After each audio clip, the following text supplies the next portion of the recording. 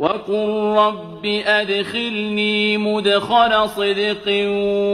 وأخرجني مخرج صدق واجعل لي من لدنك سلطانا نصيرا